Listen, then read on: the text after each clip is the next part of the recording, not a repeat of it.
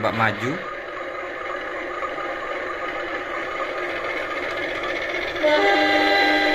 Assalamualaikum warahmatullahi wabarakatuh.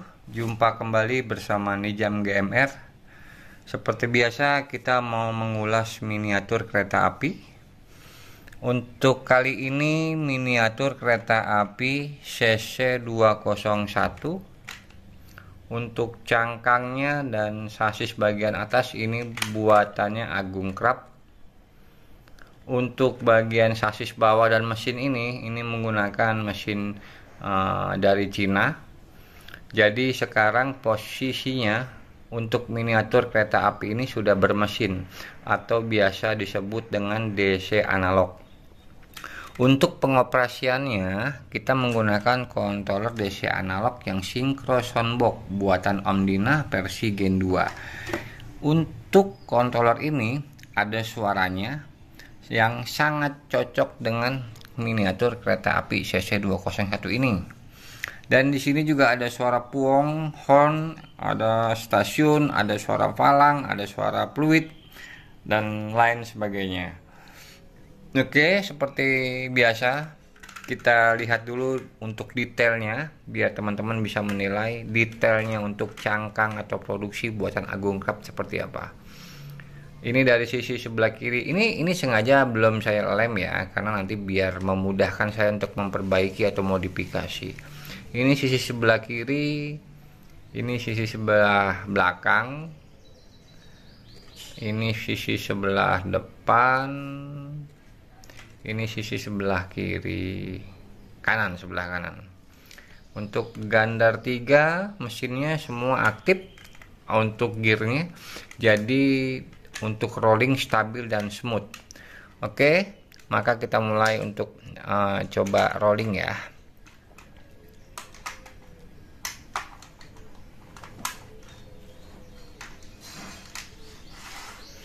Oke, kita coba dulu. Bismillahirrahmanirrahim.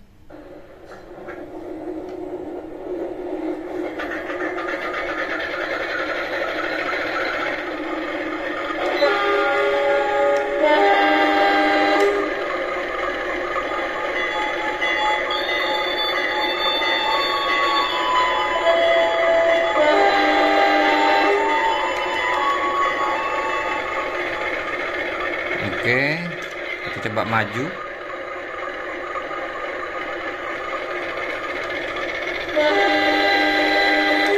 Kita coba mundur.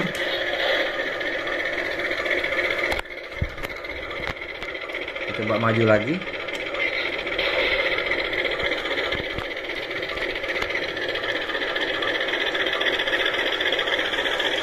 Kita kasih kecepatan tengah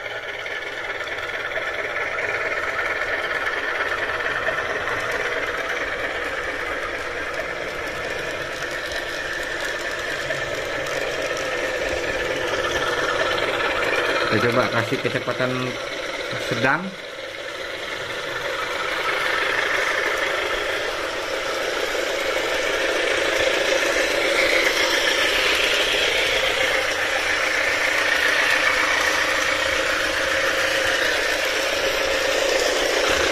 Coba kecepatan penuh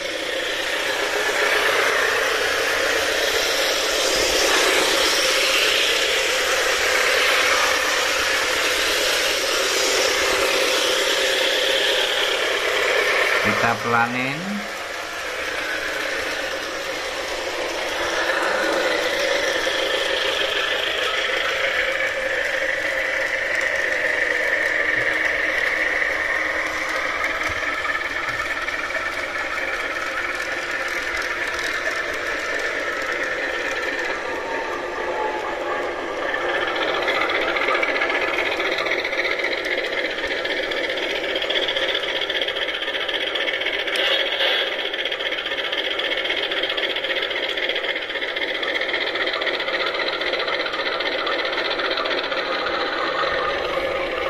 Oke. Sementara cukup. Terima kasih buat teman-teman yang sudah menyimak. Jangan lupa like, komen, dan share serta subscribe buat yang belum subscribe dan aktifkan loncengnya agar bisa mendapatkan notifikasi video terbaru khususnya tentang miniatur kereta api. Terima kasih, salam sehat selalu bagi kita semua. Wassalamualaikum warahmatullahi wabarakatuh.